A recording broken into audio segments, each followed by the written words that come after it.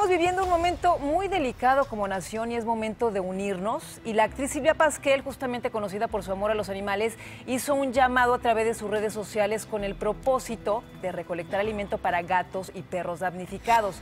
Hoy hasta las 5 de la tarde el Foro Pasquel va a estar abierto para recibir dichos productos. Este se encuentra ubicado en Juan Escutia 96, Colonia Condesa, en la Ciudad de México. Casi esquina Mazatlán, casi esquina Mazatlán en la, en la Ciudad de, de México. Ojalá puedan ayudar. ¿Viste Sí. estos videos? Eh, platicamos estos videos de los animalitos eh, que iban rescatando en jaulas, gatitos y demás, que están los perros. todo, pues, claro que hay que ayudar para aquellos que, A ver, que han ahí los atacado un animales poco a Silvia. Son parte de nuestra familia. Claro, Punto. Claro, claro. claro son que un sí. integrante más.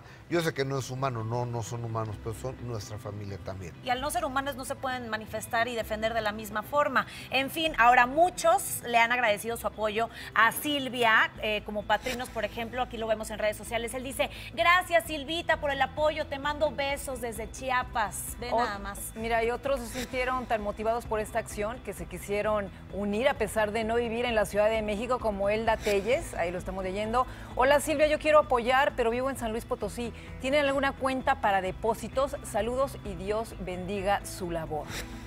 Qué maravilla, güey. Oigan, pero ¿qué creen? Por otro lado, varias personas se mostraron molestas con la señora Pasquel por querer ayudar a los animales y no a los seres humanos. Aún así, la actriz se defiende y no se deja intimidar. Chequen. La actriz Silvia Pasquel lleva años preocupada por el bienestar animal. Prueba de ello los apoyos que ha dado para esta causa, por ejemplo en la catástrofe ocurrida en Acapulco en 2013, cuando donó 10 toneladas de víveres. Hoy pide el apoyo en favor de los animales damnificados por el terremoto en Oaxaca y Chiapas.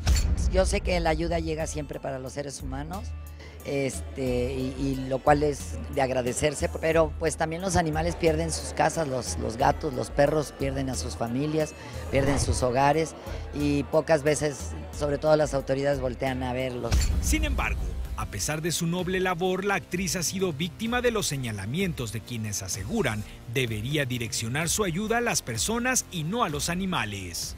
porque normalmente esas personas que critican son las que menos hacen por los demás.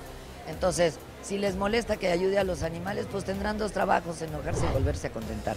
Mira, yo te digo que cada quien en la vida escoge una misión. Si tu misión es ayudar a los, a los damnificados humanos, está muy bien, qué bueno, yo te apoyo. Mi misión son los animales. Entonces, cada quien tiene una misión en esta vida y al otro no le tiene por qué molestar.